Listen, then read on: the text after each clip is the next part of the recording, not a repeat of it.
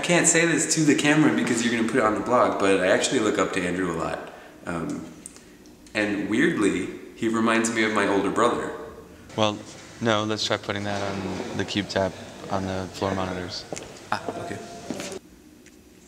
Teresa is really smart, I think, which I, I think gets overlooked a lot because because what she does isn't isn't so visible.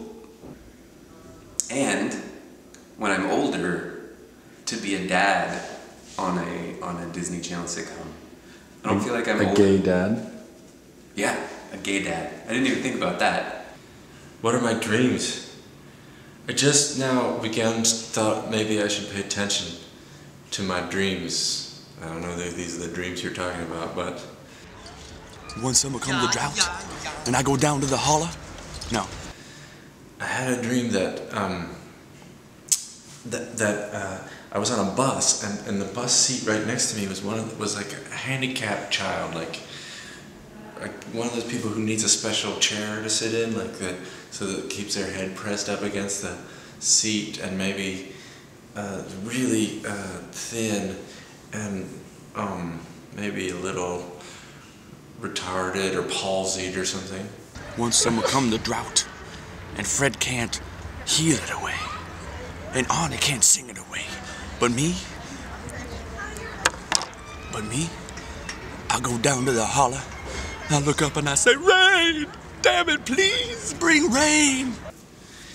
and um, he wasn't really doing anything, just kind of like moving around. And then suddenly he was gone, and there was this girl in his place who said, "You know who that was?" And the rain came. and I knew. And I thought that that question was ominous, and then that the the answer is because it's a dream, right? It's supposed to be all about your own psychology. And so I figured that palsied child was my own shriveled soul. And I knew. I knew. I was one of the family. And I can't think of any other reasons not to talk about your hopes and dreams. Well, maybe because you you're afraid you won't achieve them, and then it'll be on record that Oh, that was something you wanted that you didn't get, not only in the public of viewers of this video, but also in your own self. As long as you don't speak it, you can later deny that you ever had that dream.